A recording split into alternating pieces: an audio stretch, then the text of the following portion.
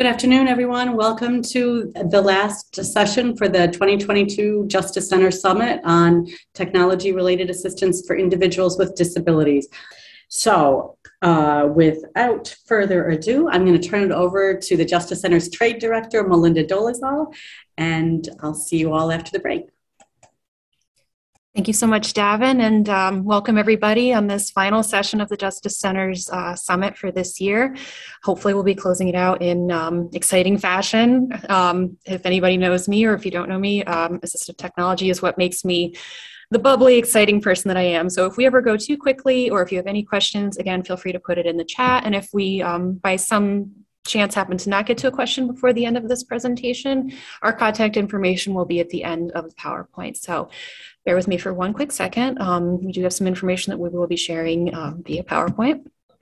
And I will also be joined by um, some of our amazing TRAID staff for this presentation. All right, and I hope everybody can see that. If anybody wants to type in the chat or give me a nod on camera. I see a nod. We're good to go. so again, it. welcome um, everybody. This is the Technology Related Assistance for Individuals with Disabilities program, also known as TRAID. Sometimes we even get called TRIAD, but I assure you it is in fact TRAID. Um, we're going to be reviewing a whole bunch of things today, um, but our goal is to give you an overview of the program, what even is assistive technology, how it can help people live in more independent um, settings, and hopefully lots of other things along the way. So this is our, um, our agenda for this afternoon. Uh, really, who are we, what do we do, what are our goals, and how can we help you, your family members, and the people that you work with. We're also going to be going over what is assistive technology or what we call AT. Just like the rest of you, we're very heavy in the acronym world and we have our own separate language. So if for some reason we say something you're not sure about, just type it in the chat. Um, but again, we will be saying AT pretty frequently. Uh, we'll be reviewing what it is that TRAID does with that AT. Um, and even though TRAID is a service that can help people of any age from birth to golden years, we will be focusing primarily on um, living independently. So maybe people coming out of a nursing home, living um, in congregate settings, and living in more independent settings after that. So things like that, um, which is our TRAID and independent living um, portion of the presentation. We'll give you guys a quick break to um, breathe and hopefully recap a little bit. And at that, after that, we'll be doing um, a discussion between myself and the amazing TRAID staff who we're lucky enough to have here this afternoon. And then we'll close it out with just a quick review of our interagency partnership on assistive technology or IPAT Council. So we're already getting in with the, the acronyms and we only just started. So without further ado, um, we are your lovely panelists for this afternoon, um, and I'll get us started. My name is Melinda Dolezal, um, Dole like the fruit, and then Zal like that's all, folks. I've been with the Justice Center's TRAID Department for about three and a half years. I actually started in our intake unit in the call center, and prior to that, I've worked at non-for-profit agencies in the OPWDD world in Buffalo, the Capital District, Oneonta, and probably a few others I'm forgetting about. Um, we also have Brendan Stapley, who is a senior research specialist at the Center for Assistive Technology at the University of Buffalo. Um, I'll let Brendan say a few words. Hey, thanks, Melinda. Um, so I'm Brendan Stapley. We're, I'm at UB uh, Center for Assistive Technology, or we call it colloquially CAT, UB CAT, um, which always disappoints my nieces when, she, when they find out it's not actually cats that we do anything with, but a lot of assistive technology stuff. Um, I have been working for UB just these past uh, four years now. Before that, I was getting in, I got into assistive technology maybe, oh geez, longer ago than I want to remember, about 15 years or so ago. Um, starting off with Aspire of Western New York, which is in Western New York. Um, they provide services to people with disabilities uh, through like OPWDD, and that's going to be they have uh, clinical services, they have um, residential services and rehabilitation and vocational rehabilitation services. Great, thank you so much, Brendan. And he's um, one of our go-to, um, you know, knowledge hubs for smart home technology. So, sorry, I just called you a hub, but you very much are a, an amazing resource for um, all kinds of different portions of assistive technology. So, thank you so much. We also call me Tech Geek here. I'm just our resident tech geek. So, that's, hey, that's not a bad thing. Um, and then April Diffie, who is our staff up in um, Queensbury. I always say Glens Falls, but I get I always get it wrong. Um, she is the TRAID manager at the Southern Adirondack Independent Living Center, um, and I will let her say a couple of words. Thank you, Melinda. Uh, my name is April Diffie, and I'm the TRAID manager at the Southern Adirondack Independent Living Center in Queensbury. Um, I've been with the agency for um, just starting off on my eighth year here.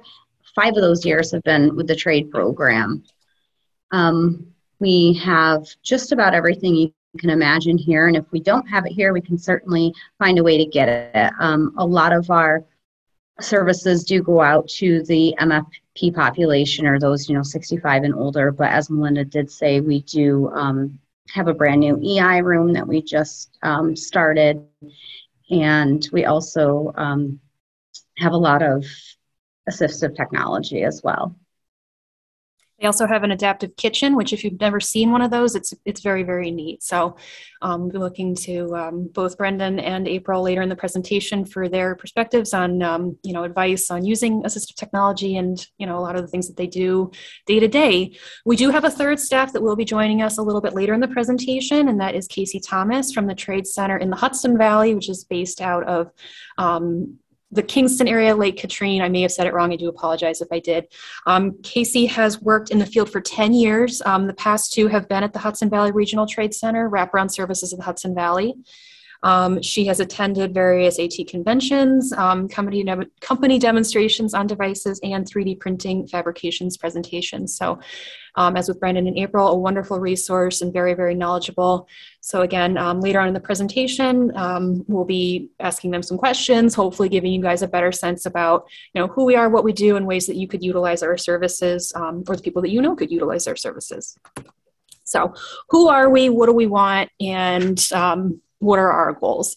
So, TRAID's actually been around for a very long time. Um, I call it the best kept secret in New York, and I don't want it to be this best kept secret in New York. We want you guys to tell your friends, family, neighbors, uncles, dogs, cousins, nephews, whoever. Um, we were established by the Technology Related Assistance for Individuals with Disabilities Act of 1988. So that's kind of when the organization as a whole started, but it's been through you know several iterations and evolved quite a bit in that time. We were overseen by the Commission on Quality of Care and Advocacy for Persons with Disabilities into 2013. Uh, and then after that, we were um, incorporated as part of the New York State Justice Center, where we remain to this day. Uh, we're actually part of the Office of Outreach, Prevention, and Support, also known colloquially as OOPS. Um, so if you were part of the presentations for PQI or Prevention Quality Improvement and SDMC or Surrogate Decision Making Committee, those are our sister programs that we work very closely with. And so um, we serve New Yorkers of all ages and abilities by promoting greater independence in the lives of people with disabilities, um, and that's of all ages. And it's um, everything from education, employment, community living, really every single part of a person's day to day life. Um, and again, we do serve individuals um, birth to three through early intervention. Um, and then up through again retirement and golden years. So it really for us it doesn't matter where somebody is in their lives as long as this technology is appropriate for them. And just to give you guys a little bit of background, you know, on what kind of establishes us, TRAID's actually a federal program that's established by the Administration on Community Living. There's actually a TRAID, quote unquote, a TRAID program in every state in the country and every territory. So if you were on vacation in Nebraska, if you're like my family and like corn, um, there is an AT program there. If you are going to a wedding in Texas, there is an AT program there. So if you, for some reason, need something, can't bring it on a plane, or it's too cumbersome, or you only need it for a brief time, you could go to those programs and do, you know, exactly what we do with TRAID. Um, and um, we offer very similar services. However, in New York, we're very, very lucky. We actually work with um, three state um, partners, two agencies and three state partners. The first is early intervention, which is um, technology for children age birth to three, so those critical years when kiddos are you know, working on cause and effect, sensory, all of those things that are extremely important. Um, Access VR, we work with them to provide technology for individuals typically age 14 and up, but we do have some wiggle room um, and we provide those devices for people that, you know, may need note taking devices. They may need devices to help them wake up on time for work. Um, it's a pretty vast, you know, category of what could fall under that. And then finally, finally, money follows the person, or what we call MFP. These are devices typically for older New Yorkers or people who are coming out of a nursing home or are coming out of a congregate setting to live somewhere more independently or maintain independence at home. So these are the things that establish TRAID, even though we have funding up there. It's not that we provide funding for these things. These are the things that allow us to purchase new assistive technology devices, um, make sure that our program staff have what they need in order to do the amazing jobs that they do. Um, and there are TRAID um, programs, again, throughout the country. I'd be happy to put the information in the chat at the end of this presentation. So what is AT? Hopefully nobody's fallen asleep because we also just started, but we have a poll question for you because I want to kind of pick your brains a little bit and see where everybody is at when it comes to this strange world of AT. So we have a few things on the next slide. I want you to take a look, you know, again, shake your arms a little bit, wake yourselves up. Um, and we want you guys to guess how many of these things do you think are AT? So take a look. Um, what we're going to ask you guys in a second um, is just the total. You don't have to pick, you know, picture two, picture four. So just in case you guys, um, it's not very clear or you're not sure, the first picture is a card holder um, with a large print playing card um, is that a full house? I, I can't play poker. Um, hopefully, it's a good hold or good hand. Um, next are some pencil grips. Um, you may have seen these, you know, all throughout school or currently. You know, um, there's three there. One is blue, one is pink, and one is green. The third picture is a page divider that kind of darkens out the print if you're not reading that line of text. The next picture on the bottom to the left is a light blue sock aid. On the fifth picture, we've got some books that are lifting up a computer monitor. And the sixth is um, just a handy dandy Sherlock Holmes uh, magnifying glass. So take a look at these. We're going to pull up the poll.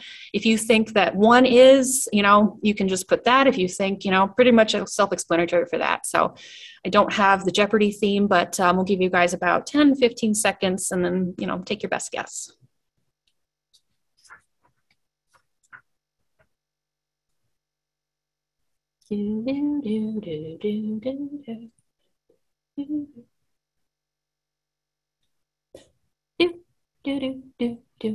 I know I skipped it, but um, we are curious to see what you guys thought. So um, let's go ahead and see those poll results.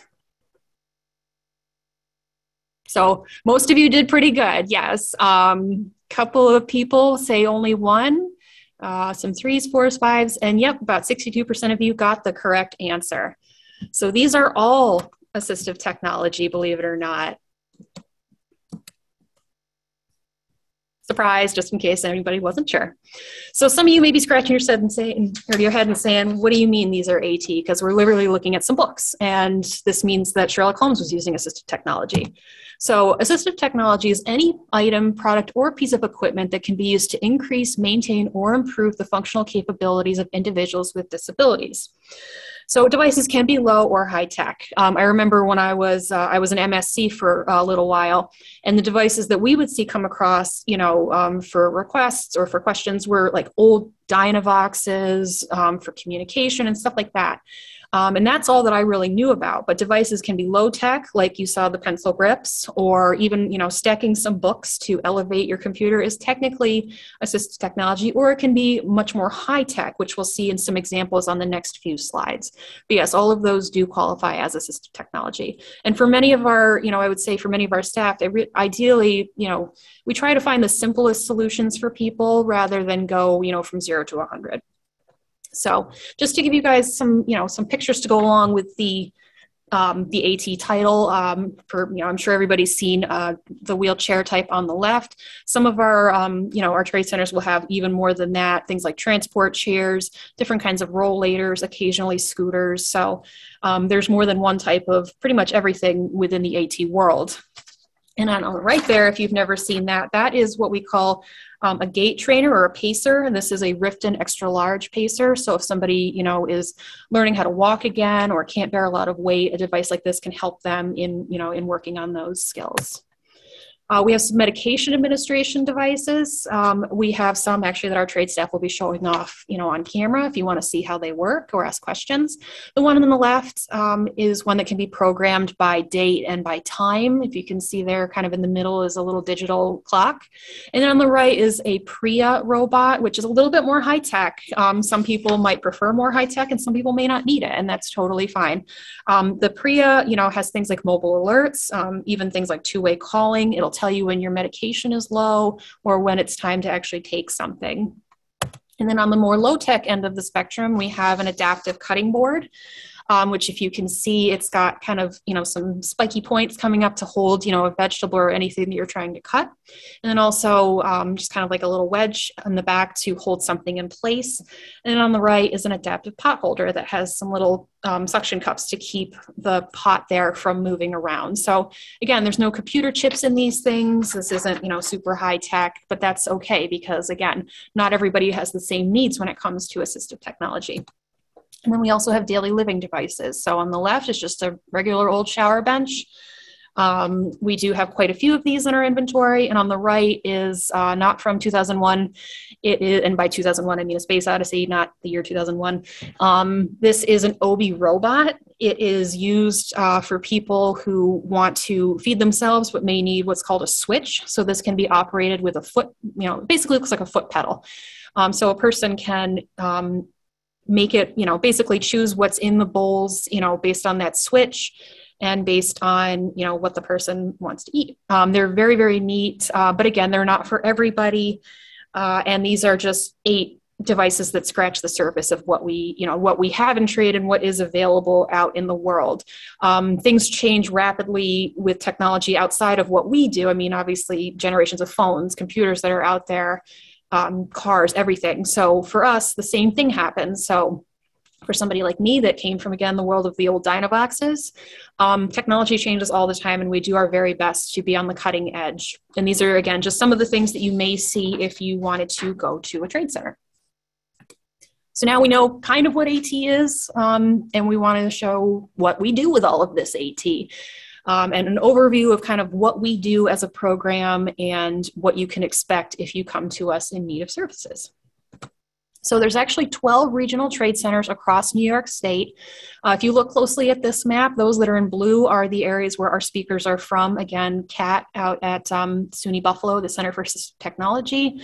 Uh, SAIL or Southern Adirondack Independent Living Center out in, they're kind of, I mean, they are capital district all the way up from Warren County down to Columbia and Greene and then wraparound services of the Hudson Valley, covering um, the Hudson Valley, Ulster, Sullivan, Orange, and Rockland counties. But again, there are um, uh, nine others that cover you know various geographic areas and population sizes you know we have a lot of area up in the north country for our suny plattsburgh's program but fewer people and then smaller land territory down in new york city but obviously quite a few more people than the north country each TRAID program um, has their own inventory so all of those devices that we gave you examples on, each TRAID center will have um, hundreds of devices, if not thousands, available for people to learn more about, um, try out, and, and more as we go into what TRAID actually does. So um, and then each TRAID center's contact information is listed on our website, which we will be putting in the chat. Uh, and you can search by county if you're not quite sure. Sometimes we'll have people reach out with questions or queries, and we really, once we know where the where you are from, then we can start referring you to the TRAID center closest to you. Sometimes our TRAID centers do loan across um, their county borders. It's really up to the TRAID center on you know how far away it is. So we do all stay in constant communication with each other. I bounce around pretty frequently, making sure that everybody has everything they need. Um, but we're always here if people have questions. So this is where we are. That's the kind of stuff we have, but what do we do? So um, TRAID loans are our bread and butter. Uh, it's probably the thing that people know us the most for if you've um, heard of us at all. It's I describe it like a library. Um, people can come to a TRAID center, they can borrow a device for a few weeks, see how it's going to work. Is it uh, just total waste of time, or is this the greatest thing since sliced bread? Um, so for us, it's a great opportunity, you know, for people, it's a great opportunity to see what all is out there, especially with how quickly things change. Some common reasons, you know, people might want to borrow a device is if um, they have a new or emerging need, they're not sure what they want to try. Maybe insurance is kind of taking a while uh, and they need something in between or a device breaks. These are all some reasons, you know, people are more than welcome to come to us, contact us, and see if we have something that can help. And then device compare and contrast, or what we call a demonstration, is exploring options that an individual may not know about. So for us, somebody could come to us needing one thing, and then we may ask, you know, do you also have a need for maybe cooking dinner or for um, you know getting your socks on or getting dressed in the morning because that can really help us you know decide hey should we also offer this other device for them to come check out touch um, ask you know see if there's information on it and that way a person can make an informed decision because there's so much out there and you can see you know maybe an ad or a commercial that looks you know amazing but it's just not the right device for you. So our goal is again to have those devices available for people to contrast and compare. We want to offer similar things. You know we don't want to offer you um, a reacher for a high shelf and then also you know a sensory device for a kiddo. I mean, we want to have things that you'll be able to actually compare apples to apples device donation. A lot of times we have things that are donated to us and what we do is we we fix them clean them and redistribute them to um, local communities. A lot of times we'll get donated things like wheelchairs shower benches crutches canes things like that. And so we do our best to have those available. It's um, not a guarantee but we do we are pretty frequently able to offer that to people. Some other things that we offer are trainings um, we have a whole variety of things that our staff are well versed in. Here's just a couple of examples. Um, we have, you know, trainings on assistive technology in an individualized education plan or an IEP. Um, this is a question that comes up pretty frequently as kiddos navigate the education system. What are, you know, what are they um, able to receive? Who covers what? How does documentation look? So that's something that we can easily help with. Uh, people will come to us with questions about funding options. How do we pay for these devices? So that's another thing that we can offer. Uh, we also offer, you know, in-depth trainings on specific types of devices. We have programs that are well versed in communication devices. So if you come to us and say, "Hey, we want a professional development on a certain thing," we're usually more than able to find a staff that is the perfect fit. We've done trainings on accessibility. Um, workplace accommodations you know so if there's something you're curious about let us know. We are able to offer um, trainings that are through zoom or webex you know especially with covid. Uh, we adjusted our services to meet the needs of the people in the state that were interested um, in receiving our services. And uh, we can also customize things. If you know if there's something we don't have in our in, in our catalog we'll do what we can um, to make that happen Public awareness, we do a lot of tabling events. We do a lot of conferences to get, you know, the word out there about who we are and what we do. Uh, I myself have been to several. A lot of the TRAID staff um, go pretty frequently. We have a TRAID staff actually who I think is on um, the web webinar who did TRAID on the Trails, which is our Syracuse site at Access CNY. They partnered with a local organization to have some wheelchairs, um, some other mobility devices available for people to try and to um, walk and wheel down the Erie Canal. So you may see us out and about. If there's an event that you have going on that you'd like us to participate in, let us know. Um, we'll be doing a few things in the spring, and as things are opening up, we want to make that an option for you know those of you that are interested in having our lovely staff um, grace you with our presence. And finally, technical assistance. Uh, we provide some consultation and help for larger you know and community initiatives you know related to things like accessibility, um, related to you know whether it's digital or actual you know physical accessibility to a building and offering suggestions for systemic um, improvements. Uh, just some examples of some of the things that our TRAID centers have done. Um, actually uh, suny buffalo worked with the niagara school district for the perry project to help train teachers on accessibility that features that they could use with their students. Um, our center in Utica worked with a second grade class to implement a training curriculum on um, reading and writing, or I believe writing, um, and helping students to get used to using tablets. And then we also had our center up in Plattsburgh that worked to increase accessibility at um, Paul Smith College for their hiking trails. So if there's something in your day to day lives that you think could be made better through assistive technology, or if you're not sure, um, feel free to reach out, contact us. You know, we're always happy to, you know, see what we can do. So just some other things that we that I like to share with people, you know, that we get some pretty frequent questions on. Uh, we're unable to purchase devices for people to own. So if somebody comes to us and says, "I need to keep this permanently," we may not be able to accommodate that if it's not something that we could donate because our inventory are items that we want to reloan to people and re you know show to people for as long as we possibly can. We can point you in the right direction to some organizations that provide funding but we can't um, purchase a device for people. And that's based on our legislation what establishes our program. Our loans are typically for 60 days, and that's about two months. Um, but they can be extended. So if you borrow a device and insurance has taken a long time, just call us, call the TRAID center that you borrowed it from, see what, you know, if they have a wait list. If they don't, um, it's up to them, but sometimes we are able to extend a loan. We just ask, you know, please that you bring them back as soon as you don't need them because there are other people that may need them just as more. And again, we do accept donated equipment with exception. Um, our centers really can't take things like hospital beds, uh, and we don't typically have them for loan because they're pretty big. Our space is limited, and we want to make sure that everything is clean and sanitized and safe to go out. And it's a little tricky with things like mattresses. Um, if we aren't able to take it, we do try and point you in the right direction of other donation sites in your communities. Um, a lot of the, you know, everything that does come into a TRAID center is cleaned using either a hub scrub, which is a giant industrial, essentially a dishwasher for assistive technology. Uh, a lot of our centers use UV or they um, have their own cleaning procedures that they use. So um, just know that when you do borrow a device or use one, it is um, as maintained and cleaned as we possibly can get it. And if you are interested in donating a device, um, reach out, you know, directly to the TRAID center nearest you. If you're not sure, feel free to contact me, and I'm happy to um, establish contact and point you in the right direction. So this is what it might look like if you did want to contact a TRAID center.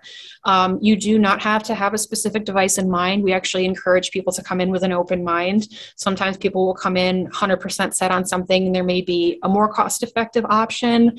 There may be a simpler option. Some people, you know, prefer things that are very high tech, and some people prefer things that are very low tech. So we do our best to meet those, you know, preferences, um, and we can do that as to the best of our ability if people come in kind of open to seeing what's out there. So people can start the process by giving us a call, sending us an email, just reaching out and asking questions. That could lead to us either referring you to our TRAID centers this is something that we do or maybe it's something a little outside of what we do maybe you know if people have a question about how do i enroll in, in a waiver for assistive technology we could we would refer you probably to whatever that waiver program happens to be Several of our TRAID centers are actually located in independent living centers that have in house resources for things like the um, traumatic brain injury waiver, nursing home transition diversion waiver, and several others. Uh, if people are interested in seeing what technology we have or might need to borrow something, we would welcome you in for a device demonstration.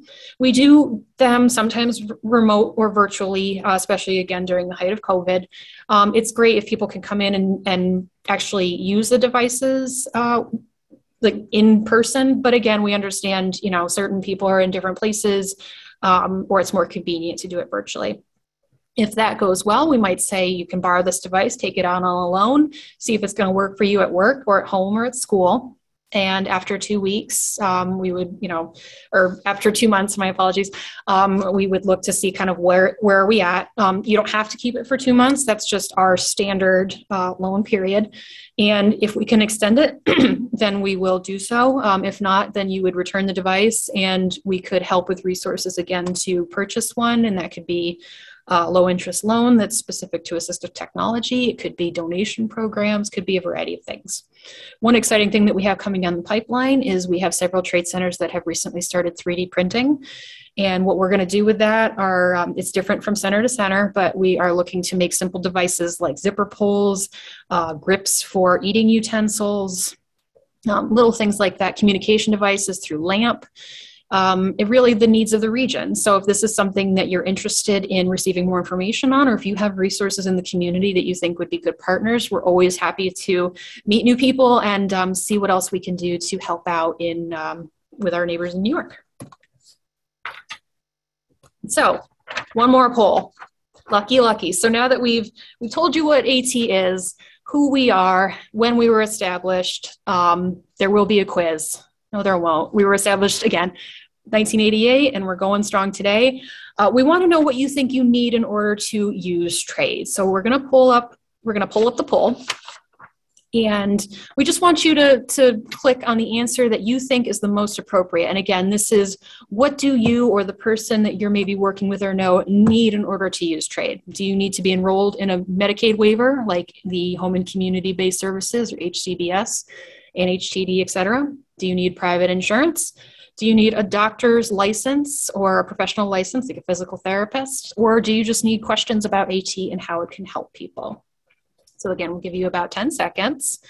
Um, I almost said there's no right or wrong answer. There is a right answer.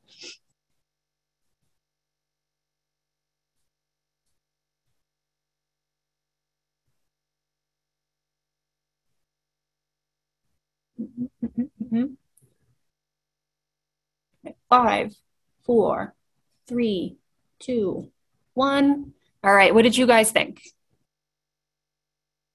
80% of you are spot on. Um, people don't need to be involved in a waiver. They do not need private insurance. They don't need insurance at all. Um, they don't need to be a doctor or a physical therapist. All you need is questions about AT and how it can help people. And I'll elaborate a little bit on this um, in just a second. So everyone um, can use TRAID. It could be, um, you know, anybody could contact TRAID, even a person who needs the device, uh, a, you know, a parent, a caregiver, a circle of support, um, care coordinator, you name it, uh, as long as the person who is utilizing the device, it is appropriate for them. That's all that really matters. And I do say that with a caveat. We do have some centers that have specific requirements for specific devices. What I mean by that is we have some very, very high tech devices that, um, for people's own safety, we want to make sure they are appropriate. We have things like eye gaze technology, Tobii Dynavox. Those are devices that can help people type using their pupils, um, and they are they tend to be um, a little bit more fragile and much more uh, specialized. So, uh, particularly our Long Island site has specific documentation requirements, such as a doctor's note. However, anybody can contact the TRAID Center for information. And if you're not sure, feel free to reach out again to your local TRAID center to ask. Most of our devices are um, things that you know people can borrow without much documentation, if any. We will ask things like your height and weight if somebody is looking to borrow a wheelchair, because we want to make sure that it's fitted to you um, or to the person that's using it. For us, disability can be long or short term. It could be, you know, somebody um, they fell, they broke their leg, uh, assumedly the leg is going to heal, and eventually they won't need that device anymore. Or it could be long term. It could be a device for maybe a kiddo who um, you know, as they've grown up, EI is learning, you know, maybe they're nonverbal and they may need a communication device. So we can help with seeing what devices are out there that are going to work best for that kiddo. So um, it really, again, age doesn't matter to us. Could be again birth to however old, um, and it doesn't matter, you know, if it's a if the person has uh, a developmental disability, um, what could be considered, you know, something short term. But again, things are unclear sometimes, and disability is a broad, you know, is a broad um, spectrum of things. So why use TRAID? Again, we've told you who we are, what we do why we're awesome. But we're also awesome because we provide short term accommodations if somebody is waiting for a device to be repaired. Uh, my time as a MSC prior to care coordination, I had plenty of circumstances where somebody had part of their wheelchair broke and it takes sometimes a while for it to be repaired or maybe medicaid won't pay for it because it's been within the time frame that you know it can't be replaced due to their own policies uh, TRAID can potentially offer a solution for that time frame or at least resources that can help things be repaired. Try it before you buy it. Um, i've known plenty and plenty and plenty of people who have seen the newest, latest, greatest thing. I mean, even outside of assistive technology, I don't know how many friends I have that need the newest whatever phone they get it, and well, it's, it's okay, but it's not amazing. And it's even more important if this is a device that you're using day in and day out, and you rely on for a very important part of your um, daily activities. So, trying it before you buy it is this simpler device going to work better for you, or is this more high tech one going to work? Is this app going to work best for your child, or is this one? Um, so trying that out before you actually buy it can go a long, long way. And it's also great for justification for insurance, especially these days. Um, I mean, I think it's always been that way, but especially now, justification just goes that much farther. If you can say, you know, we've tried this, my child has tried this, the person on my caseload has tried this, and we have documentation for several weeks that we've shown improvement in their, um, you know, keeping time, taking notes, you know, working on cause and effect, all of these things and our services are free. Um, and that means, you know, our loans are free. Um, again, please bring our equipment back. Um, our demonstrations are free, trainings are free. Uh, we do have some TRAID centers that do partner with other state organizations um, like Access VR. They may have things like evaluations that do have a fee associated with them, but know that TRAID itself um, is, you know, free for loans, demos, and things like that. You're ever not sure, I'll probably say this a whole bunch of times, but you know, feel free to contact us if you're not sure or if you have any questions. So as I mentioned, um, a large portion of our loans, demos, and other activities go towards supporting individuals who are transitioning out of uh, nursing homes, congregate settings, you know, even uh, residential programs, things like that. This isn't to say that we don't also work with, you know, every other population uh, that may need assistive technology, but we really want to highlight, you know, some of the benefits of assistive technology in this area and why it really should be something that should be explored for everybody that it may be appropriate for. And again, everybody is different. Things may not, you know, what works for one person may not work for somebody else. Um, but that all goes back to person centered planning. So the benefits of the least restrictive setting, a residential option, I'm sure you know everybody has seen these, or you know, especially again, I keep saying with COVID, with COVID, um, there's a lot of things that you know I've heard organizations exploring, and some of these are AT to meet the needs of things like staffing. You know, if somebody needs um, a few extra um, prompts or assist you know some assistance with things like taking medication or making sure that they're doing things on time. Um, this is something that some devices may be able to assist with. Um, least restrictive residential options obviously is more person centered it gives people more of an option to choose where they want to go and where they're most comfortable. Um, this creates more opportunities for community building and decision making and it's less expensive than options like skilled nursing homes and nursing facilities. Um, on ACL, um, recent information says that uh, skilled nursing facilities can cost an average of $75,000 a year. Public residential facilities for people with disabilities average $225,000 a year.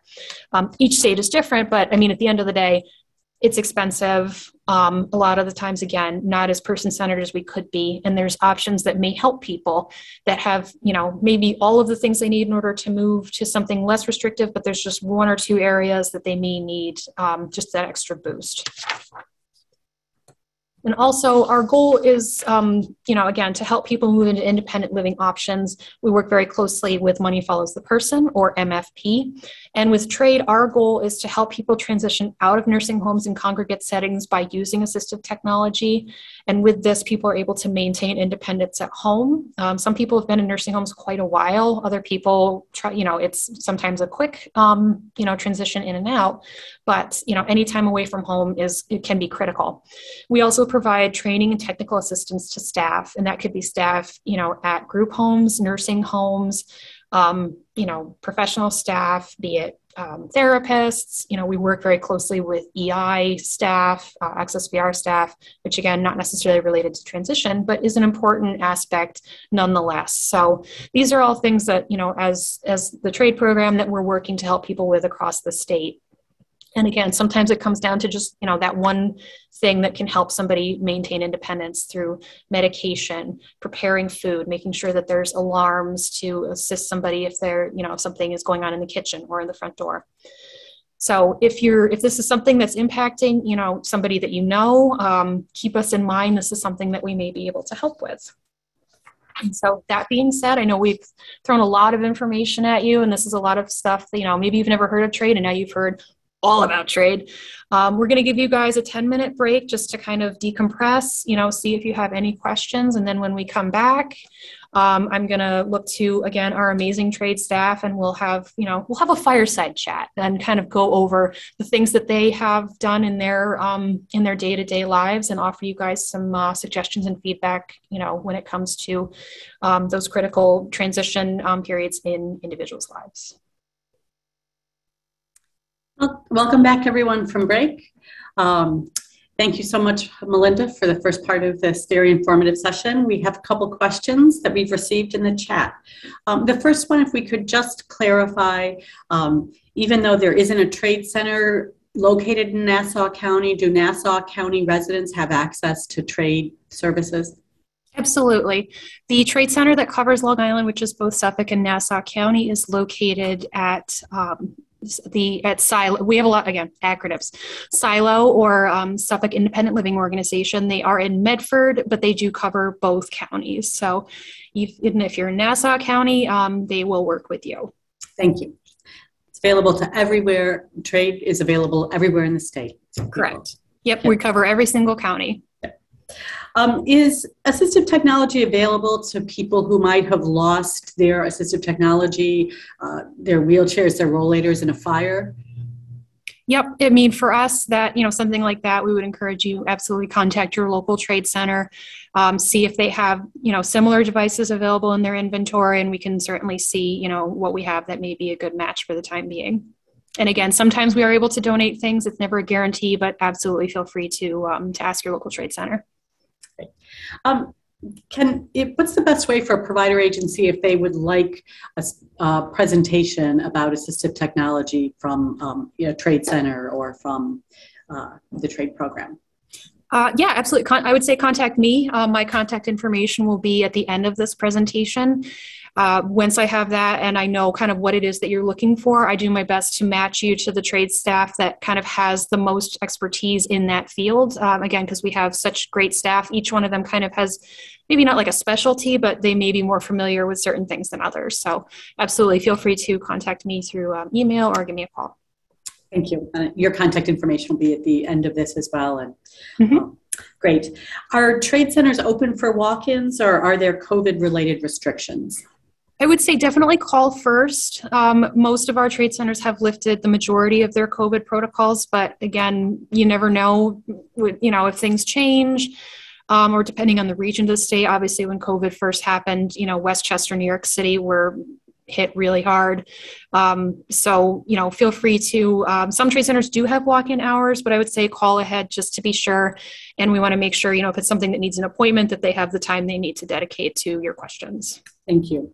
Um, just two more questions. Uh, do PTs have to approve and um, sign out the use of uh, devices for seating and mobility? Someone had heard that that was a um, an issue.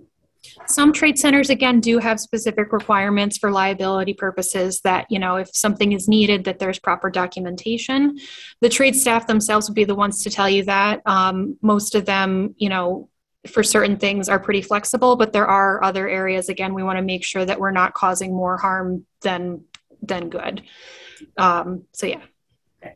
Thank you. Um, and then the last question before I'll turn it back over to you. Um, what's the best way to get uh, AT evaluation to find out what might be helpful for adults living in residential settings um, so that they could use smart tech?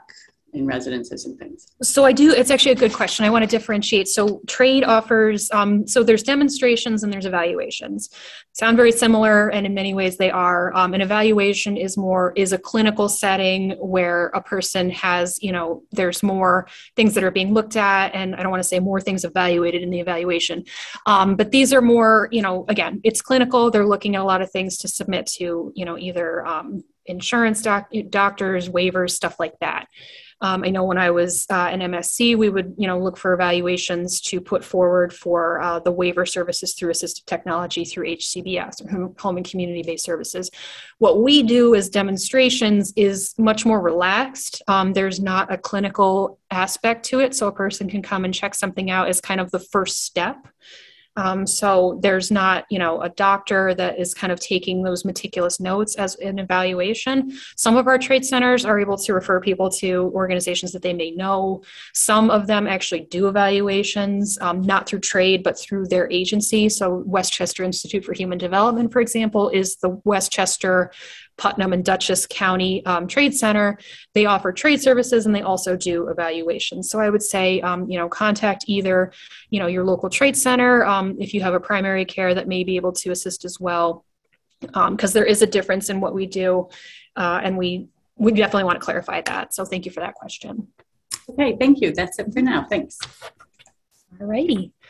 Um, so for the second part of our presentation, we wanted to actually ask the experts in the field when it comes to assistive technology, because it's one thing to hear me, you know, chit chat about um, what TRAID is and what TRAID does, and it's another to actually, you know, see the devices that we have, some of them, because again, if we did all of them, we would be here until next week probably, and probably even longer than that. So um, just a heads up, we probably will have a little bit of back and forth, you know, up and down with the PowerPoint because I do want to, you know, broach each question. We have, um, I believe, about nine altogether. I may be wrong in that, but um, we kind of want to pick the brains of the TRAID staff that are with us. So um, without further ado, bear with me again for one quick moment. I'm just going to pull that up. And then get us started again on part two.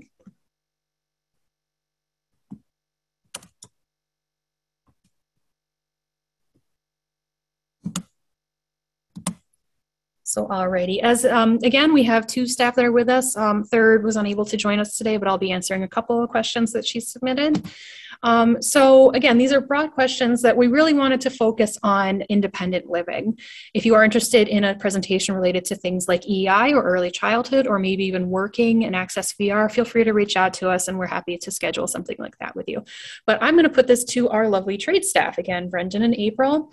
Um, what are your experiences with assistive technology and helping people become more independent in the community? And so um, I'm just going to show a quick picture of one of the former TRAID staff out at the University of Buffalo. This is a staff uh, named Nathan Ramsey. There's actually three pieces of equipment that he's using right there. One is a pillow switch. If you see that little green circle around his head, um, he's obviously sitting in a seating device and he has a tablet. So there's actually three there if, you, if you're not quite sure where to look. So what do you guys, um, you know, what are your experiences um, in this realm, I should say?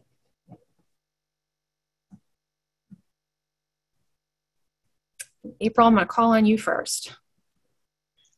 Okay. Um, so can you just repeat that, Melinda? I'm sorry. It's a long one, so I don't blame you. Um, so, what are your guys' experience with AT and helping people become more independent in the community?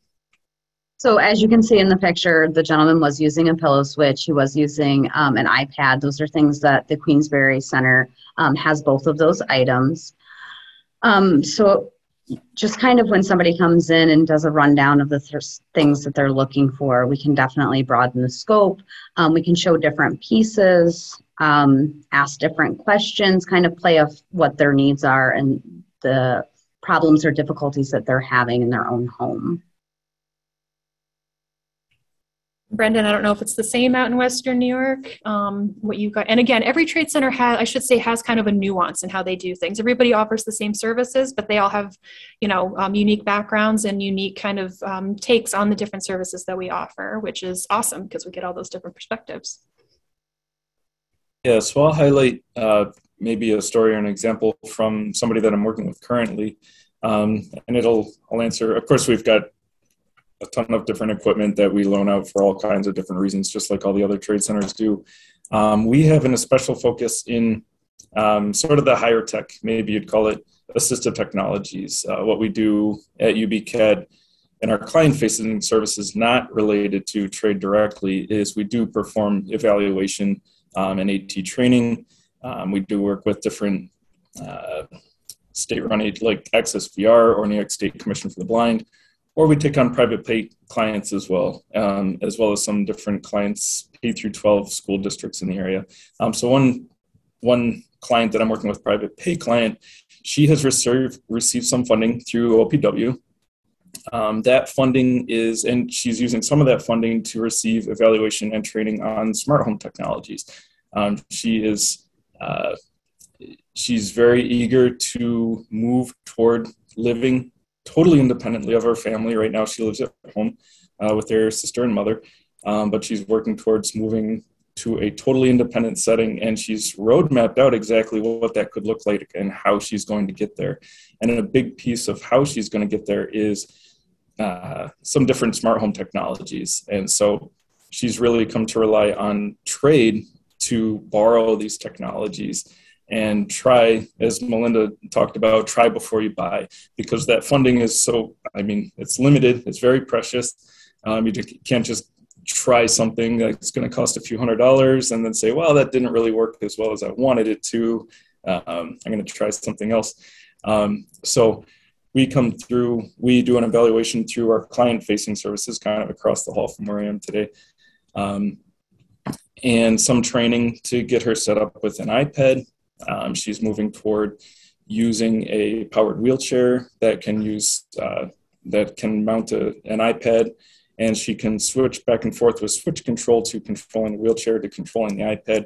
So switch access for the iPad and tying all these smart home uh, devices through apps on the iPad and then controlling those with switch control opened up her entire home tour in a very literal sense. She can now um, open doors, she can now adjust the lights, adjust the temperature, adjust all kinds of things.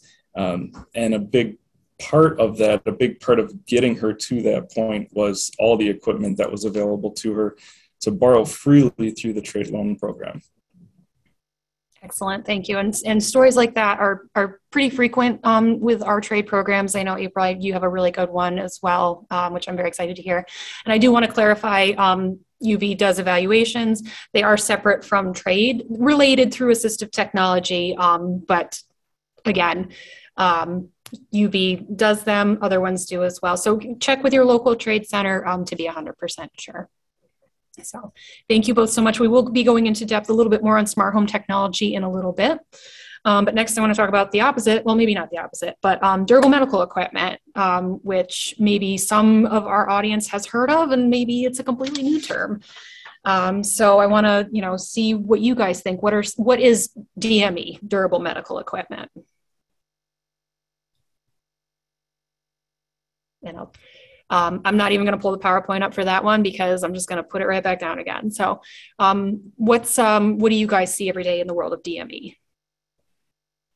So when I hear DME, I feel like it's primarily um, a medical purpose. Um, it's devices that are used in home. They can be used again and again. Um, but with DME, it's only useful to patients who have um, an injury or disability.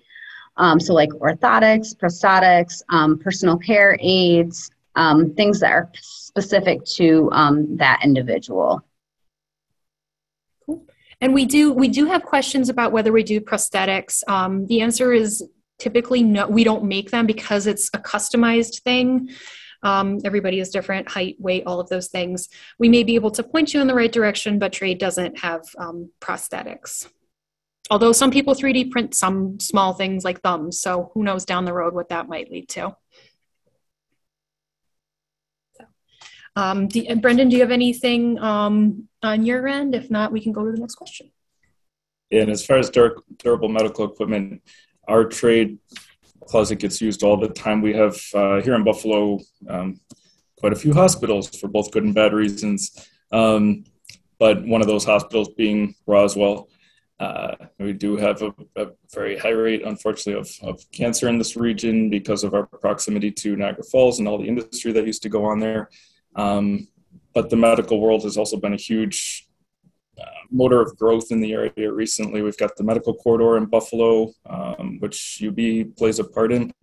Um, and all those facilities mean many more patients, mean many more patients who have some kind of intermittent need and don't necessarily want to buy a transport chair or crutches or any kinds of those types of durable medical goods, which you're going to need to get over an injury um, and maybe get over something for four to six weeks, and then you have no use for it anymore.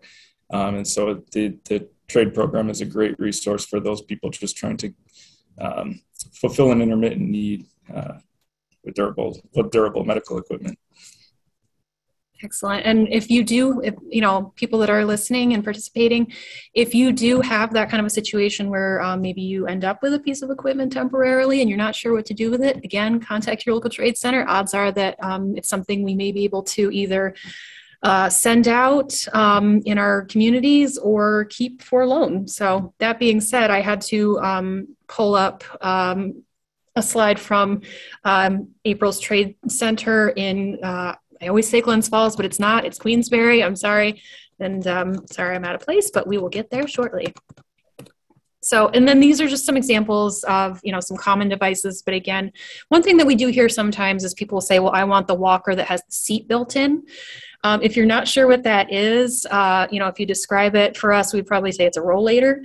Um, but that's where we're, you know, the staff are experts in that. So uh, we're happy to help with any questions with that because we do. People will describe a device that you know maybe um, is older, and we may have something newer, or it might be that you know it's a rollator and people think it's a walker. So here we have a transport wheelchair all the way on the left.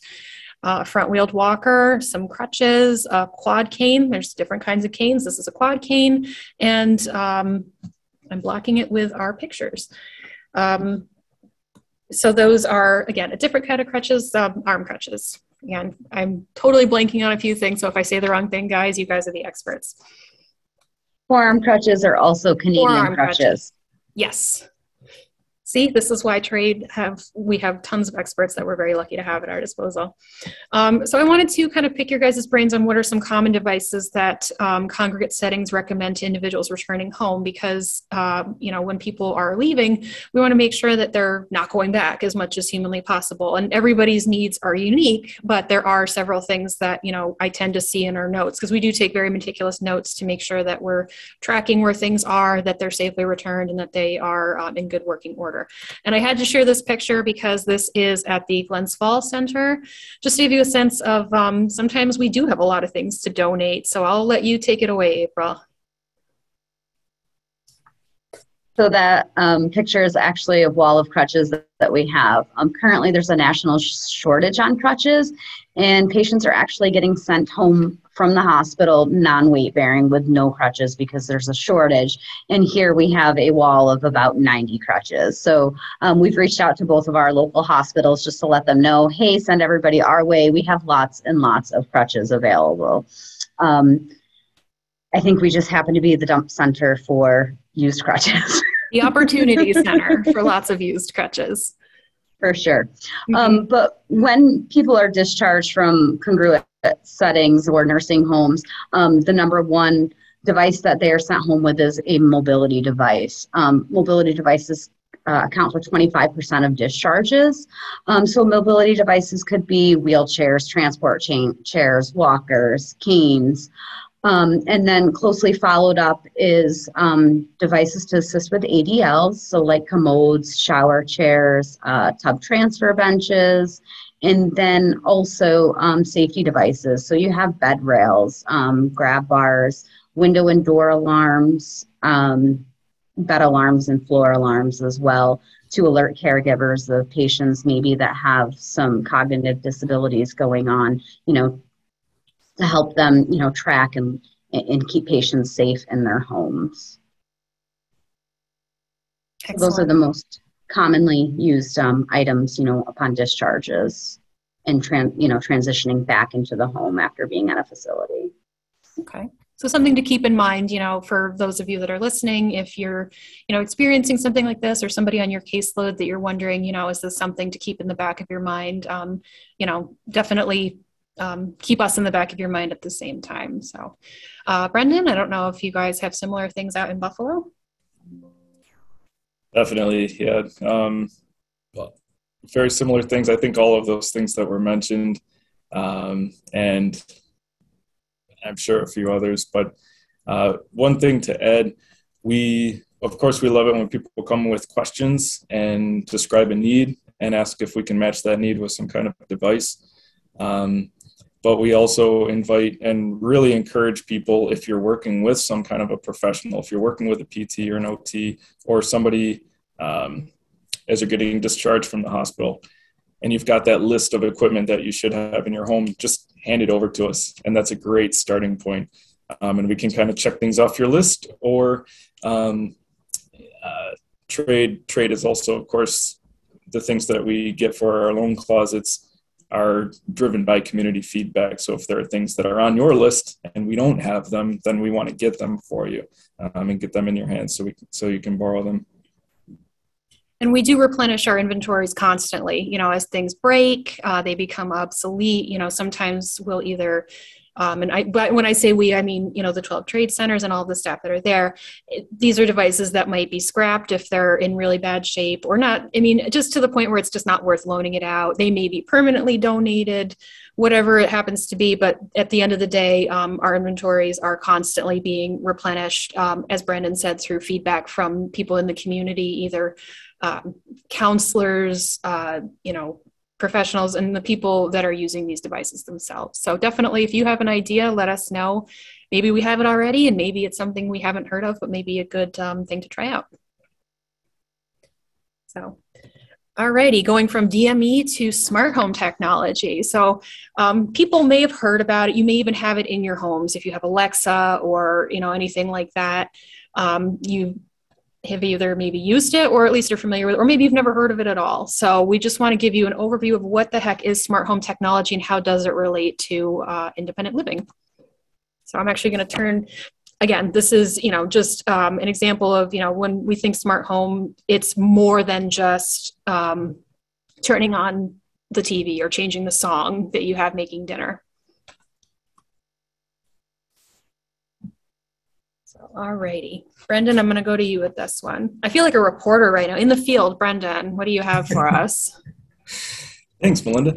No, um, we so yeah smart home technology uh, that term kind of gets thrown around a lot and can mean a lot of different things but essentially all it means is some other way to switch something on and off whether and whether um, it's changing the switch on your wall to actually be a smart home switch so that you could turn that on and off through an app on your phone uh, or with your voice your voice connect is the switch or whatever it is, whatever alternative means you have to switching that thing on and off.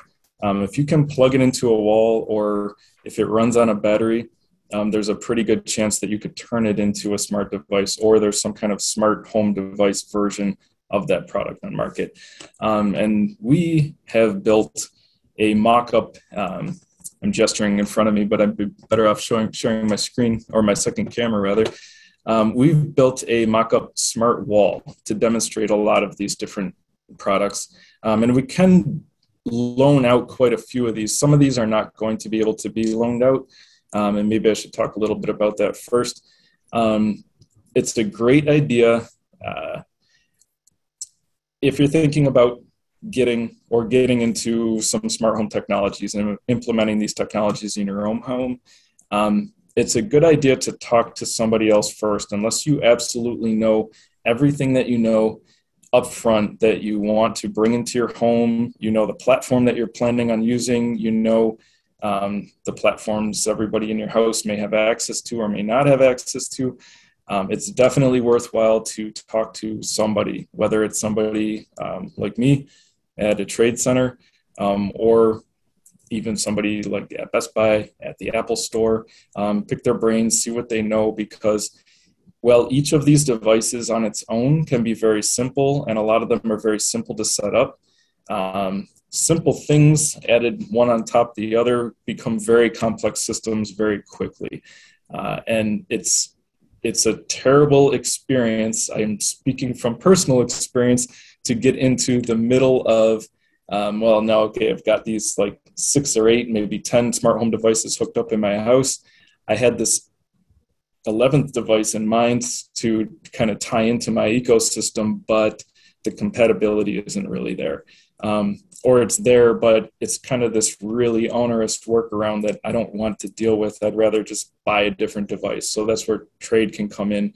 Um, trial these things before you buy them. Speak with somebody uh, like myself to make sure all the different platforms that you're planning on using are going to be compatible with one another. And when I say platform, I just mean um, a great starting point for anybody is hey, I've got an iPhone in my pocket. What can I connect this thing to that would be smart home devices in my home? Um, or hey, I've already got a couple Google Assistant features at, or uh, speakers at home. What could I connect that thing? What can I make that speaker do other than like tell me the weather in the morning? Um, so we built this smart wall or rather we had it built.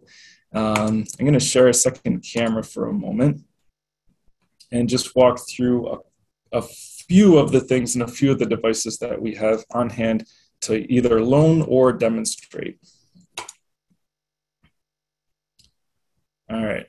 And to start off, actually, I'm going to switch my camera to the back of my laptop along the bottom of your screen right now, you're seeing an LED light strip. And along the top of my wall, I've got a, uh, a sensor. This sensor is a Philips Hue sensor, and that light strip is a Philips Hue light strip. I've also got a desk plant. Say I am somebody got up in the middle of the night and I need to use the restroom or something. My lights are out. I can't see my hall. As I move through the hall, that sensor sees me and turns on the light strip. It turns it on to a low light setting. I've already set that light setting ahead of time so that it's not going to like blind me and wake me straight out of my sleep. Um, but it gives me enough light to see. Or if it doesn't, I might be able to do something like tell the uh, tell whichever assistant I'm using, uh, Alexa, turn Philips Hue to 80%. Did you mean desk lamp? Yes. Desk lamp isn't responding. Ah, Please check its network connection and power supply. okay, that didn't work. Hey Google, turn Hue to 80%. There we go. And now my Hue turned. I'm going to turn the lights back on. I'm going to switch my camera to the original camera so we can look at some other things. Um, but starting from the left, um, and these are all devices that I can access in a number of different ways because they are smart home devices. Um, generally, that means I'm connecting it through an app. I may have to use some kind of a bridge that connects it to my Wi Fi network, um, but I'm connected to the app. Uh, if I'm using speakers or smart displays, um, I can use my voice to access these different things.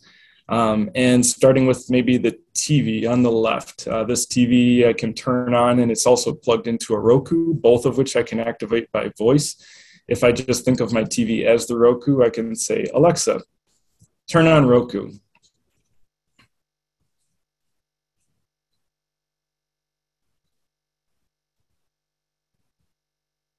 And of course, this was working during the break and not now.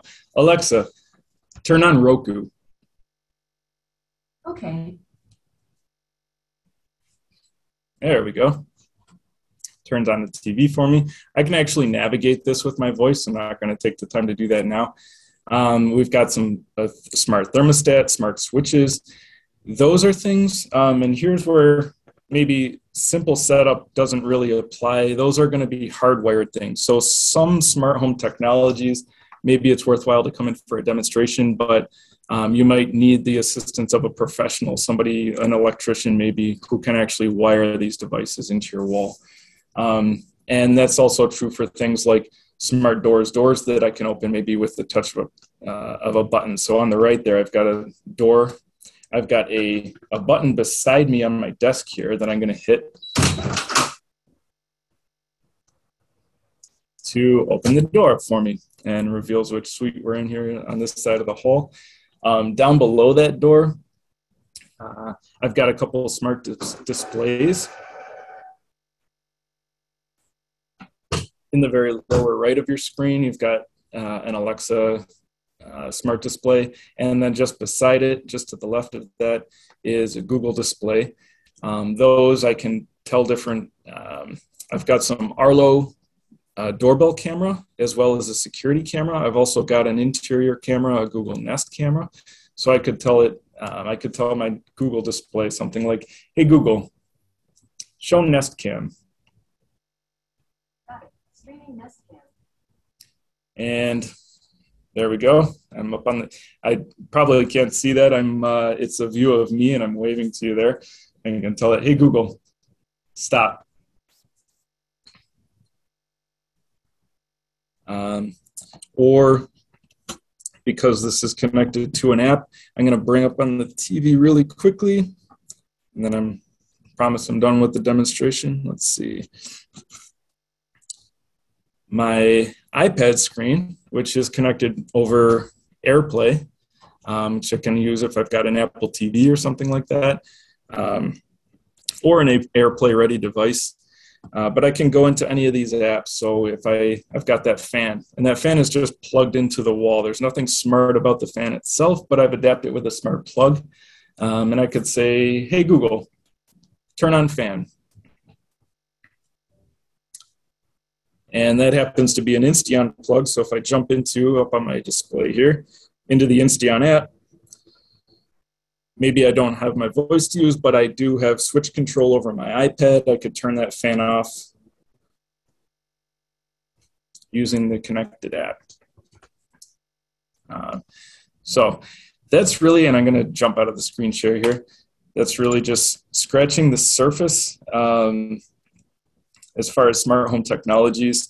And they can get very, very complicated, as I said, very quickly. Um, definitely worth a, a stop into something like the TRAID Center to borrow some of these devices before you buy them, particularly because if you were to set up, say, this smart home setup at your own home, just the devices that you've seen, which aren't all the devices that we have available and in boxes and everything else, um, would easily be a couple thousand dollars. Um, you don't want to invest that kind of time and money without knowing that something like that is going to work.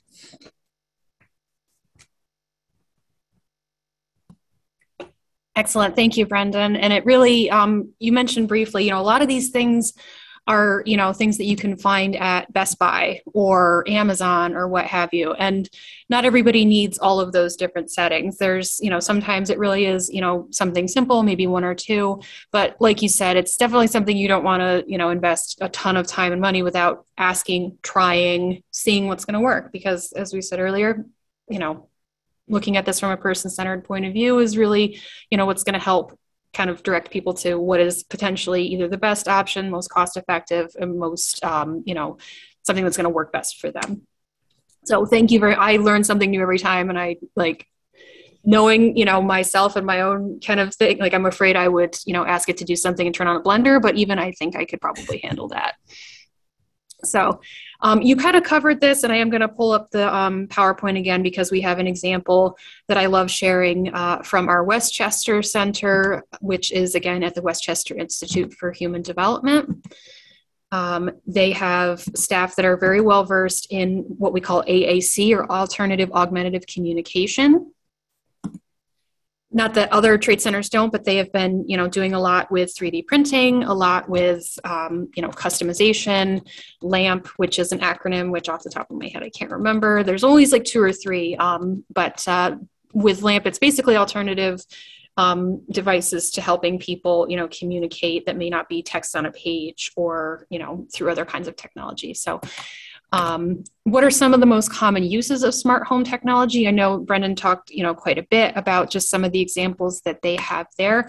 I just want to share this picture really quickly. This is of Emma S., who is 93 years old. Uh, she lives in the Westchester area, not in Westchester, but in their region. Um, her great granddaughter actually reached out to us uh, because she had been affected by COVID, and Emma, who was, you know, her great grandmother, was living alone and had, you know, a really difficult time with nobody being able to check on her because people near her had caught COVID and had, you know, been really, really um, had a lot of health complications. So the great granddaughter reached out to me and said, What do we do? We want to see that she's okay. We want to make sure that things are going all right. Uh, we referred this to, again, WID or Westchester Institute for Human Development. They met with the family, they loaned her a tablet. And the family took the picture that you can see here of Emma, her great granddaughter, and her great great granddaughter. Um, they can check on how she's doing, chat, and you know make sure that they can see each other. And tablets, you know, are, are great for telehealth, which has been you know increased even more so again because of COVID. And they thanked the AT loan program manager, who is Beth Hyde, and said, My five year old drops in every morning and evening before bed. We are able to connect several times a day, all thanks to you. Again, just one story that we have uh, just to kind of show, you know, the kinds of things that we're loaning. And this was just a tablet. Again, it could be anything from an iPad to, you know, Google tablet. There's so many things that can be used with them. So, um, you know, either Brendan or April, if there's any, you know, quote unquote common devices that you see people requesting, you know, I think maybe a tablet because so much can go into them. Anything else that you would um, advice that you would have for people with questions? Definitely, um, yeah. Aside from tablets, um, switches, people and people trying to access devices maybe they already have um, using some kind of an alternative method, uh, like switch control, or just like through demonstration through voice control. We've all got a voice assistant, a voice activated assistant in our pocket, whether or not we know how to use it. Um, and so through a TRAID demonstration, we can really kind of help that person leverage the device they already own uh, to, to greater agency and greater independence in their environment. Um, let's see. I mean, aside from yeah, it's a lot of it's a lot of switches, whether that's light switches or otherwise. Um, it's a lot of outlet adapters for adapting simple things you already have, like a lamp or that fan. Um, the smart displays are really nice. Uh, maybe I don't want to manage a tablet or anything, or um, maybe I can't, but the smart display could also get me that same video call every day. Um, and it's something that I could just activate with my voice and say, hey, call the grandkids uh, or whatever, and have that dial through. On the other end, it's going to take some setup by the family to whatever that is Google Duo or through Amazon through the app or whatever. Um, oh, let's see, lots of light bulbs. Um, and we have things like the you know the Philips Hue bulbs and the and the bridge to borrow. Um, those those motion sensors also. Uh, a lot of cameras, whether that's indoor or outdoor, whether they're security cameras or for doorbells. Um, we even have, if you're renting and you can't really make hardware changes in your in your place or, or put a camera in the door, we've got peephole cameras. If you've got an apartment with a peephole, you can um, usually that's a pretty easy yes from a landlord. Just to i just need to take this out and put this other peephole thing through there and it doesn't actually screw into your door or anything like that. Um, and then a lot of the different uh, aside from the television itself which we can't loan out but those things that you can plug into your television so the roku and the apple tv um, and some of the different things that will allow you to stream content and get content up on your screen maybe through an app or through use of your voice Excellent. Yes, we can't loan out TVs, unfortunately. yeah, unless there's some crazy new type of technology, which, hey, who knows what direction we're headed in. April, I know it's not necessarily smart home, but um, I know Sale has the adaptive kitchen, and I, um, if you could talk a little bit about what that's like and um, the kinds of things you guys have. Um, so yes, we do have an adaptive kitchen. Um, it's set up so that somebody can wheel their wheelchair underneath the um, appliances. So there's actually burners on top where the stove is not, so they can roll right underneath, be right up close to um, the knobs and the switches.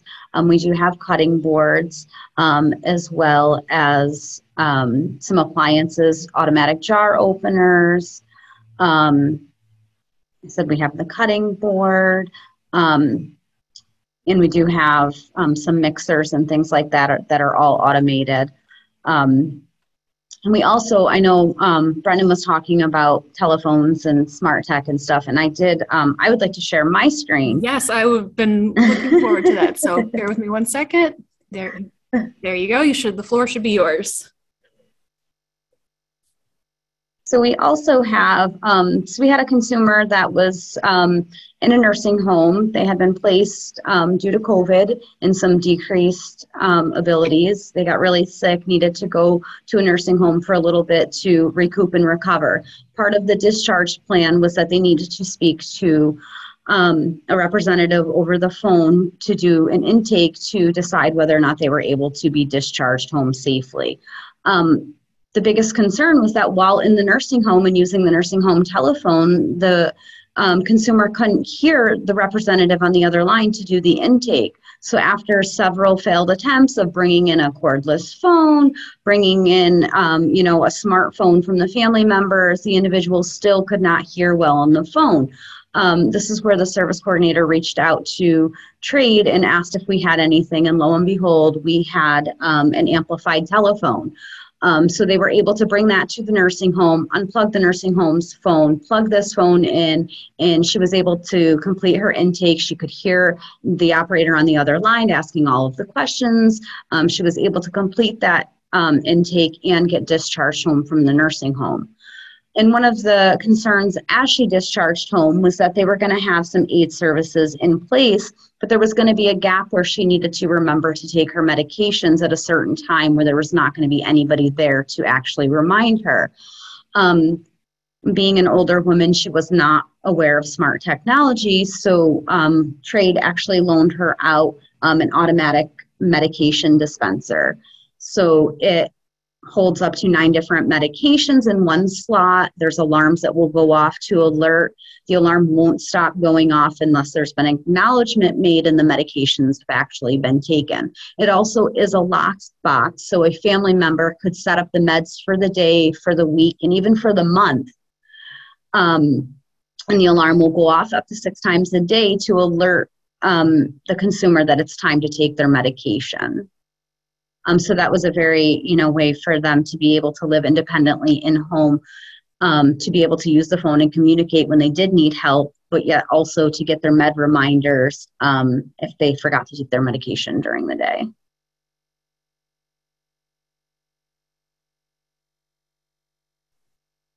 Excellent. Thank you so much, April and we've heard i mean stories like not stories but like anecdotes like that we've heard so many times time and time again of people that you know again they need just that one thing in order to transition home safely you know, be it medication or safely navigating the home, a mobility device. Um, some of our TRAID centers, not all of them, have threshold ramps for wheelchairs. Some have larger ramps. Um, again, it really depends on the TRAID center because we want to make sure that people are safe and um, that, you know, things like zoning are being taken into consideration and the ramps are appropriately sized um, for ADA guidelines. So it's something that we hear quite a bit, and it's something that we have been able to help with now that again COVID is hopefully, um, you know, restrictions are being lifted. We still have. Uh, you know people that come to us that are still transitioning out and these are just some of the things that we're able to offer them in that process so thank you both again. Um, coming into the home stretch. So thank you to all of us that are, or to all of us, to all of you that are still with us. Um, there was one um, one of our programs, which again is wraparound services of the Hudson Valley, has a new initiative that we just wanted to share some information with you guys on. And this is um, something that is unique to them but something that you know most TRAID centers are offering. So um, some resources for low cost or fabricated devices that you guys may not have heard of. The first is project act which is again by wshv um, again casey had an emergency and is unable to be here. However we wanted to let you guys know um, project act is a new program available through the hudson valley TRAID center um, the TRAID coordinator put it together to assist communities in transition, and its goal is to assist people being discharged from nursing homes, hospitals, rehab facilities, assisted living centers, or any other supported environments. Um, back to living independently in their homes. And this is achieved by donation of necessary adaptive equipment or technology. At that TRAID center, they receive many donations um, that they clean, fix up, or um, take care of any minor issues, and then donate them back out into the community. They also can use equipment that has been outdated from their inventory, still safe, but maybe isn't made anymore. So it couldn't, you know, replacement parts may not be easily available. Um, and because their inventory is constantly changing, they have things that are rotated out. Um, and then these include things like crutches, wheelchairs, walkers, adaptive silverware, uh, rollators, canes, bath chairs, and benches. Again, everything is sanitized before it is loaned out. Rifton, um, which is a brand of assistive technology, uh, Rifton trams, gait trainers, and much more. Um, and the goal of Project ACT is to help people in achieving a smooth transition out into the community. So um, there are other programs that are out there. TRAID does, you know, a lot of times have, again, equipment um, like DME, durable medical equipment that they're able to donate. Uh, the best way of finding out it, that out is to contact your local TRAID center. Um, but I wanted to ask you guys, April and Brendan, if you had any other advice for people. And I do want to again mention we are at the very beginning of a 3D printing, um, you know, goal or initiative. And if anybody is curious about that as it develops, um, feel free to reach out to us with any questions.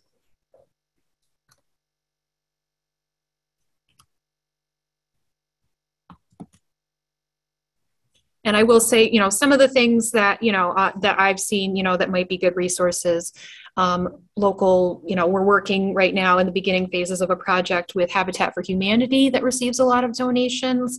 The local um, veterans um, veterans association va um, a lot of times will have you know devices that can um, be re- refurbished um, you know things like that. And we also um, we would encourage you to again check with TRAID because um, a lot of times local TRAID staff will be aware of things that maybe I might not being based out of the Schenectady office. So those are just a couple of examples. Melinda, we have a couple questions um, that I might as well ask now before we lose too many people. Um, are TRAID centers open to field trips? You know, if a, a per, you know provider agency or an MSC had a, a, lot of people that they wanted to bring and show um, assistive technology, is that possible? Absolutely. It, um, I know our Binghamton office, um, Southern Tier Independence Center, they frequently work with um, Binghamton uh, University's PT or OT students. They'll come through as a class, they'll ask questions. The staff at TRAID will kind of walk them through different things depending on what it is that they may be specializing in. Um, again, it does depend on the policies of the TRAID center, you know, with with COVID in consideration. But um, I think Buffalo, I think you guys have had people. I think maybe Glens Falls, you guys have had people, not 100%. Okay, yes, I'm right. Um, but absolutely, you know, depending on where you are in the state, feel free to contact your local TRAID center, see what their availability is, um, and they'll probably be able to work something out with you, even if it's a virtual tour. Great. And there was one question which you answered at the beginning, so I'll try it again um, in case the person wasn't here. Um, the question was, why in the world is the TRAID is TRAID part of the Justice Center? Um, so the, TRAID, the federal funding for TRAID, and then the um, funding agreements with our state partners, Access VR and the Department of Health, were all um, in place with the Commission on Quality of Care and Advocacy for Persons with Disabilities. And when the Justice Center was created in uh, June of 2012 and then came into being in June of 2013, the Justice Center, um, the legislative term was absorbed all of the functions of the Commission on Quality of Care and Advocacy for Persons with Disabilities. And we have, um, and so TRAID has been part of the Justice Center ever since. We're very um, proud to have TRAID as part of the Justice Center and, um, and our partnership with the TRAID centers. That's the last question I have received. Okay, well, we're almost we're in the home stretch. Um, I think we just have one more that I'm going to put forward to April and Brendan.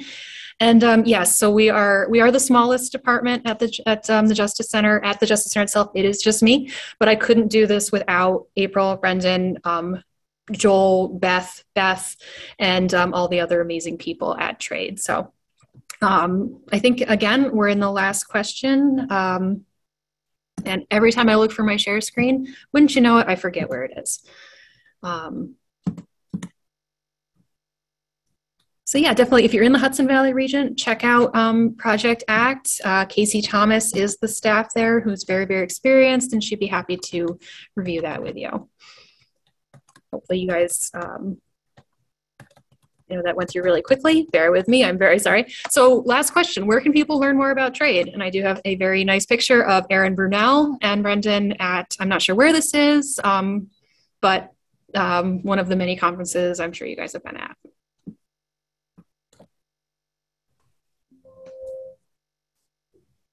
um, well of course, you can learn more about AT uh, directly through TRAID. This conference, I am trying to remember where this is from. Um, I I did find the shirt for continuity. I couldn't find the tie. I don't know where it went, but um, I think that was. Uh, there are always conferences going on relatively locally to just about anywhere you are in New York State.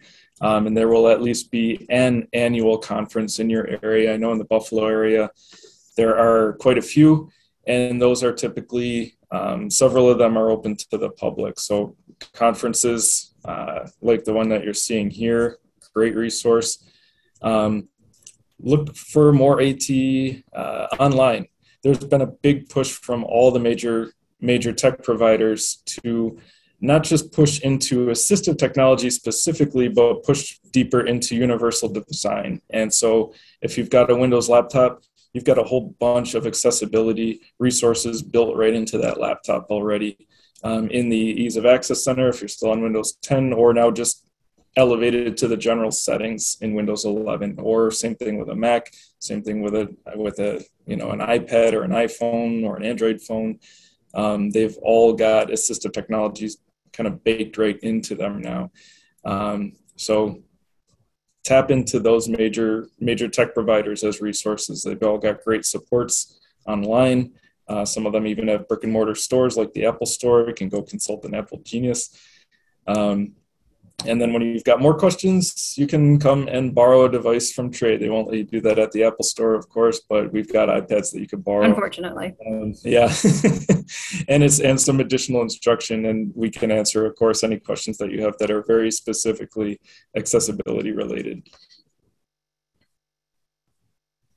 And we're at a phase even where you know big companies are embracing a lot of you know things related to accessibility. You know there's adaptive video game controllers that look you know way different from a typical playstation controller but can be used by somebody that may need a switch or may need different um, you know different dimensions on the controller. So you may very well be using adaptive technology that you haven't turned on all the features that you've had in your pocket for years now. So definitely reach out to us. Um, and if it's something that we can't help with, uh, we probably know who could.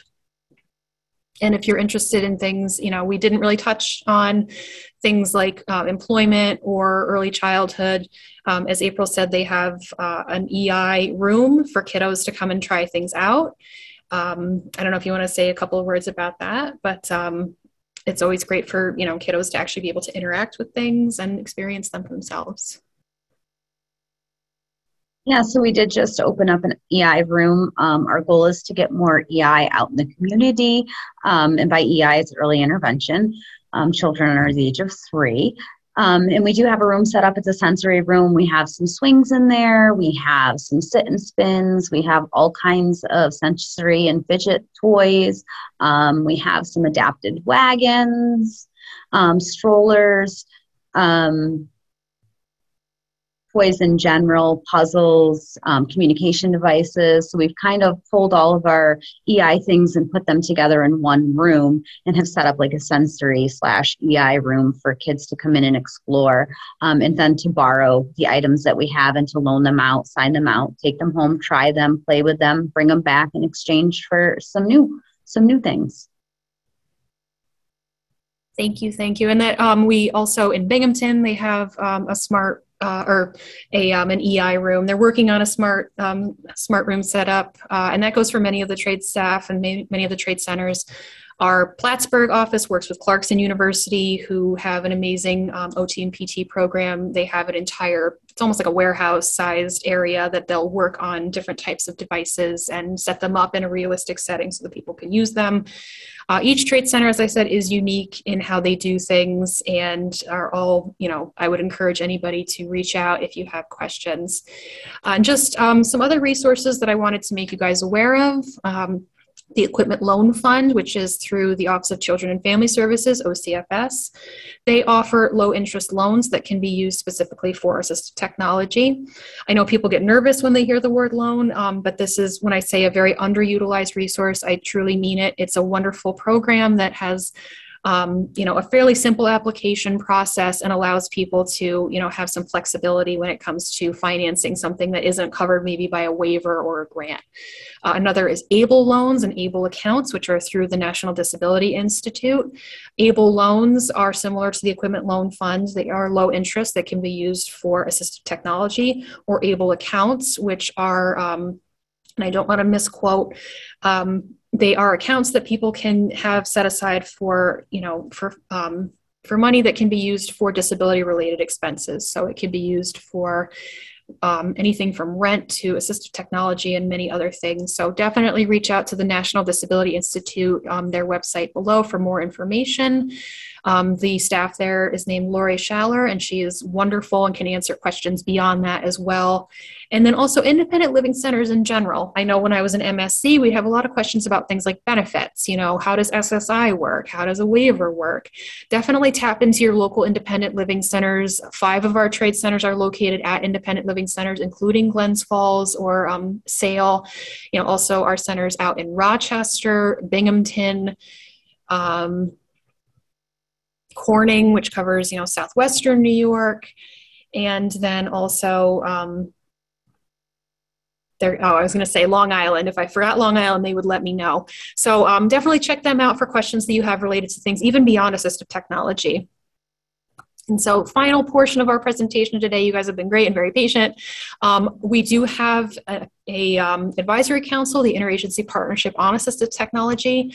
We provide it provides um, advice to the state, i.e., us, the Justice Center, regarding Um, got to move that. Activities um, carried out through the grant uh, including setting measurable goals. So we basically want to make TRAID as good as it can be as strong as it can be and as responsive to the needs of the various communities in new york as it can be. We have a great mix of people that are geographically representative of the entire state. We meet twice a year for about two hours. And we are putting this out there because we're always looking for strong advocates that have a passion for assistive technology that can help us you know direct where we go next with our program. So if you're interested interested, if you know anybody that is interested, let us know, reach out, and we can provide any um, information that you might need. And as I said, if you do have questions that go beyond this, or you're just, you know, you, after the, we close out, you're not sure, that is my direct contact. That is my email, um, 5490220, which is um, if you call 5490200, I believe that'll go to our information line, and they can also assist you with things like donation or other resources in the community. So um, that's been TRAID. Um, we wouldn't be who we are without our amazing staff at the 12 TRAID centers. Um, and yeah, so we'll open it up. If anybody has any other lingering questions, we're happy to answer them. I don't see any questions, um, and this group has been pretty good about posting them. So I think um, I think we're done. And I see that we know there's a you know a PDF of today's overview that is available in the chat. Yes, the PDF will be made available, or yeah. the um, the PowerPoint will be made available. You'll get it all um, in your email soon, so just be patient. And thank you all for your interest. And um, we hope this isn't the last we hear from any of you about TRAID. We hope um, you go out and spread the word and make life better for people through assistive technology. Thank you so much, everyone. Thank you, um, April, and thank you, Brendan. Yep. Thanks for Have a having nice us. evening, everyone. Take care, everyone.